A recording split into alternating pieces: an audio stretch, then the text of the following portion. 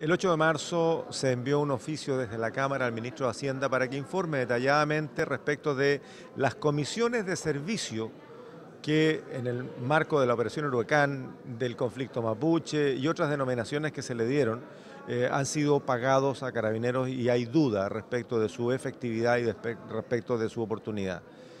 no ha habido respuesta por parte del Ministerio de Hacienda y por lo tanto estamos reiterando bajo apercibimiento legal que entreguen esta información, que se transparente el monto y condiciones mediante las cuales fueron entregados recursos especiales o lo que destinó Carabinero para financiar estos viáticos o estas comisiones de servicio en medio de lo que se denominó el conflicto mapuche. Creemos que es importante dentro de